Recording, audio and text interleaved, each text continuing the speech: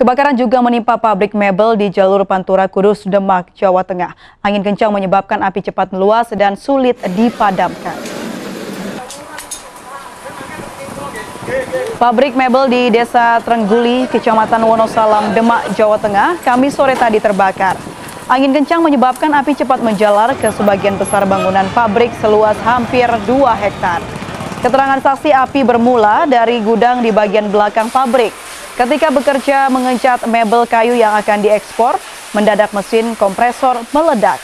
Percikan api masuk terhisap oleh mesin penyedot serbuk kayu. Para pekerja sempat memadamkan api dengan alat pemadam api ringan, namun api cepat menjalar hingga terjadi konsleting pada jaringan setempat. Konsleting di beberapa bagian sirkuit listrik menyebabkan percikan api menjalar ke bangunan lain. Agar api tak semakin membesar, para pekerja sempat memindahkan puluhan drum thinner dari dalam pabrik. Tidak ada korban luka maupun jiwa akibat kebakaran ini.